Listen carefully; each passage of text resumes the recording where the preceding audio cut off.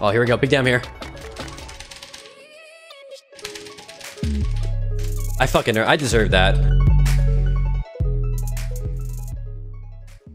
What's up guys? This is an exciting one. So today I'm gonna go over what exactly I'm doing for the Discipline Priest one-shots, man. The Convoke of the Spirits, some may say. But how to do the biggest damn, damn, damn you could possibly do as Disc Priest, and I've been loving it, having so much fun with it. I want to show you guys what exactly I'm doing so you guys can do it too and have some fun. Um, so first off, you got to go Kul Tiran. Yeah, nah, you don't have to, but it's actually pretty cool. I actually didn't go it as like a meme. Um, you do get 1% burst baseline, and the Haymaker as a Disc Priest not having a stun is actually pretty solid.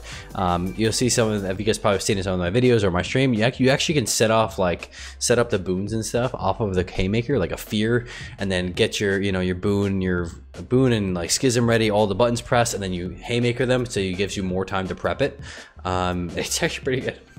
Uh, but anyway, so for the the build for gear wise, um, so I'm going. I have four set, of course. You need the four set. That's the big, the really really important to be able to hit the big penance damage because you're the four set when you ca cast Power Word: Radiance, you get your power that you automatically get power of the dark side, and it's 45% stronger, which is super imperative. Okay. Um, as for the legendary, we're going with the Penitent one. This is super important to have as well. That's when you get your penance proc, um, and it gives you that white, the white little symbol up there, which makes your next penance you just that's big big whip penance extra three bolts that are super fast.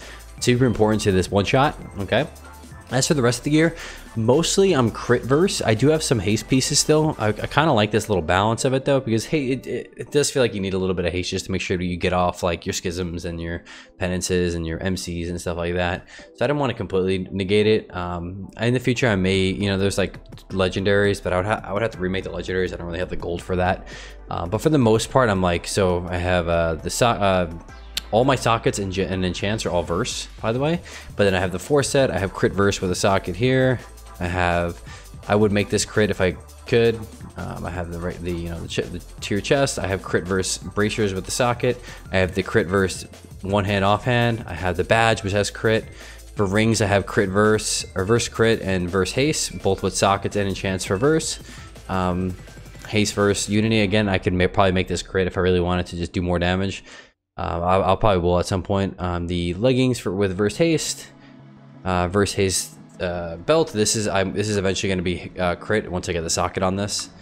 And then lastly, haste verse here. So I'm going to try to go as much crit as I can, to be honest. I'm still not kind of complete on this build, but this is working just fine. I mean, I have all the item level. It's just a difference and a little bit more crit versus haste. Um, and you know, if I'm trying to do this biggest damage ever, it, the crit's more important than the haste because you know you PI, typically I'm PIing on these goes anyway, so I have so much haste to begin with. Um, and then as for the talents, this is another important part here. Um, you need to have schism for this um, as well as Sins of the Many also, you know, helps out with your damage, if you, especially if you're not like don't have too many targets in tone. One thing I did notice with this, by the way, is if you are still atoned yourself, it still doesn't matter. Like you still get the 12%. It's when you do like a second target and then it goes down. Um, so you can you can still have a atonement on one target. I know it's like because I, I, thought it was each affected ally. So yeah, I just always read it wrong, but there you go on that. And then as for the PvP talents, I would love to be able to scrap Ultimate Radiance and go Dark Arc because I've kind of trolled around with that in like uh, Solo Shuffle and I'm doing some ridiculous damage, like completely 100 people within three seconds. It's freaking crazy. Uh, but you need it and the healing is so much and you just it's a uh, disc is unplayable at like a legitimate MMR without it. Um, so Ultimate Radiance, I'm playing Inner Light and Shadow, so I was always in the toss up between Dark Arc and this uh, because Dark Arc's 5% more and it kind of like on those boon goes. But I've noticed it was really hard to heal without the extra atonement healing from Inner Shadow. So I decided to just stick with the Inner Shadow.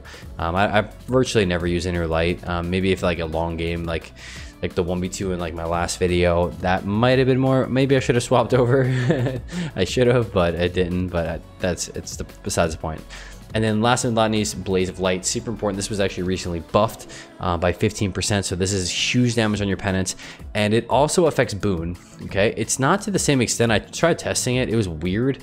Um, maybe it's like, it, was like just slightly higher. It wasn't, it clear, definitely wasn't 30% because technically the Ascended Blast from Boon is Smite. So I was like, this increased my damage.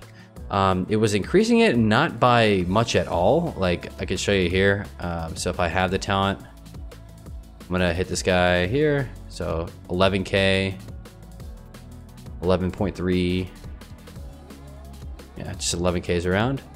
And I'll wait around with for um, for that one to come back while I keep talking here. So there was around 11. Um, and then, yeah, obviously you need Blaze of Light there as well. As for the Conduit, and obviously you need to play Kyrian for Boon, and then the Conduit tree, or the Soulbind tree of Mikanikos is super important because of this Anima Accelerator. This thing is insane, man. It is insane.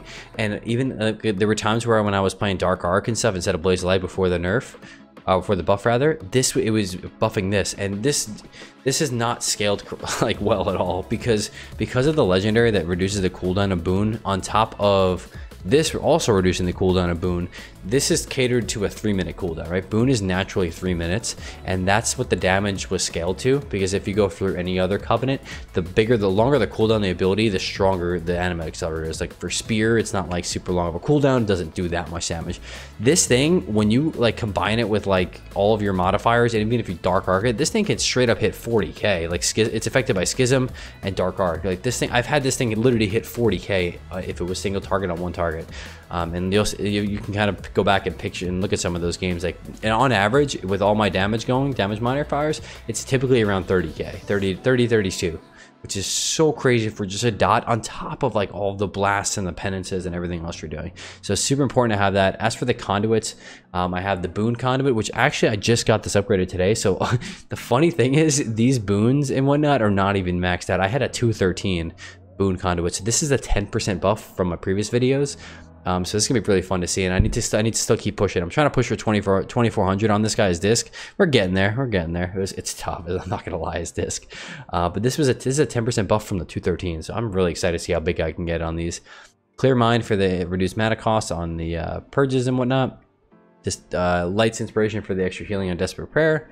Um, Swift Penitence, this is makes that big first penance really large. I still only have a 226 one of this, so I'm really excited to hopefully get that other one. I was just doing some Mythic Pluses because they're guaranteed on 220. On that note, if you guys don't have upgraded conduits and you're, you're a PvEer, do like a Mythic Plus. They're guaranteed for 265 if you do like a plus 15. Um, it's worth it, worth the investment if it's a really good conduit, like something like Convoke or something like that. Um, and then Shining Radiance, super important. 84% increased healing on Ultimate Radiance. That's, that's a lot. And then again, this is another one I just got today. So that's a 15% bonus to Radiance down healing, which I didn't have. Um, and then lastly, con uh, Condensed Anima Sphere, just because I want this one. This is increased 3% damage. Um, this side is just kind of like an absorb shield. Um, and then I went for that, the Anima Sphere as well. All right. And then uh, just to show you guys, so that was doing around 11k. If I take that off, that Blaze of Light, uh, it's now hitting 10.8. So it's like, it's definitely not 30%. Oh wait, that one hit the same. What, what the hell is the scaling? What? I don't have any procs. Oh, social guides. Okay, so maybe I'm wrong. Maybe it doesn't work, but whatever. I, I don't take it for for the boon. I, I take it for the penance damage anyway. So, um, regardless, um, the pen you, this penance damage is absolutely crazy, man. It's it's nuts. Um, so all right, so that was the the gear and the breakdown and everything. So let me just show you guys the one shot. Okay. So what I've been doing in these videos is, um, that's kind of sucks. I don't have my thing here, but I'll just use this penance. You need one of the penance procs. I'm going to get my way for my boon to come back up. So how the order of the abilities is going to be going is making sure that you have their proc first. So you have your Penitent one, which is that white little thing up top. I'm going to give a second before I uh, use these. Get that proc first, okay? You don't need to have dots on them. I try to get dots on them just to get this, this I mean, it's extra 2 or 3% damage at max. It's not the biggest deal. Um, but get any CC you need to do. So whether it's fear prepping with a fear so that you can't get stopped on this big go. And then I'm going to press PI, badge, um, and then boon and then schism. Because I, the reason I press boon before schism I know you lose a little bit of time on your boon but the point is if you do it out of a fear or like in a haymaker or mostly out of a fear it's not going to break the fear yet. Um, so that when you do pop it it's going to be cranking everything at the same time. And being able to hit schism and ascended blast at the same exact time does a lot of damage just from that because a schism can crit 10k sometimes. All right so what we're going to do is and then after that sorry so it's going to be pi badge uh, Boon, Schism, if you're running Dark Arc, you would hit Dark Arc there as well. And then you're going to immediately into Ascended Blast, Big Penance, another Ascended Blast. And then I, honestly, I get, I get, I try to get like, get pretty, kind of cocky with it, like expect, almost expect that they're, they're going to be in death range. And then I death them at the same exact time. Um, one of the games in the previous videos when I hit a Druid like that, it was just wild. Like just popped them immediately. Um, so here it goes in real time here. We need to get a proc. Please get a proc. Oh my god, of course I'll get a proc. Alright, so I don't get a proc, I get a hold off here. So I'm just doing my damage. I won't do it without it because that penance is ridiculous. And especially if you just pair with that boon. So in the meantime, I just do my DPS rotation. Let's hopefully we get it on the next one.